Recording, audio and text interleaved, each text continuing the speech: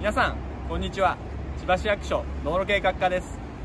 昨日3日から始まったステイストリートのお知らせです。昨日はたくさんの方々にお越しいただき芝生に寝転がったり座って食事を楽しんでいただくなど非常に大きな盛り上がりを見せました。11月6日日曜日まで行っておりますのでぜひご家族お友達皆さんでお越しください。